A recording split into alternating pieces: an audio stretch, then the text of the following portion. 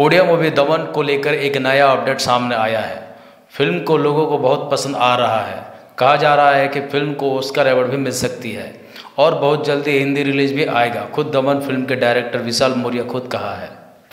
Vishal Maurya director of Daman movie and I am to tell you two three points about Daman but first let me thanks everyone who are giving such unconditional love and support to Daman just because of you this movie now has become a national praise. So, the first thing is this: that this is not in biopic. This is based on true events that happen at different places in different time frame in the Malkangiri district of Odisha. So this is not in biopic because I see many of the videos where people are saying that this is based on some individual. So it's not like that.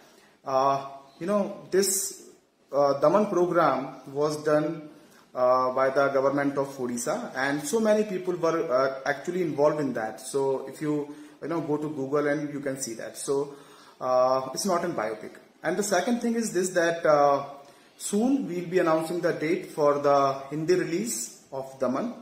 And uh, thank you, thank you everyone because uh, this is the film now. I, I know I can say this is the first Oriya film that now has crossed the boundary and has reached to the national level. And this uh, wouldn't be possible without your support and effort.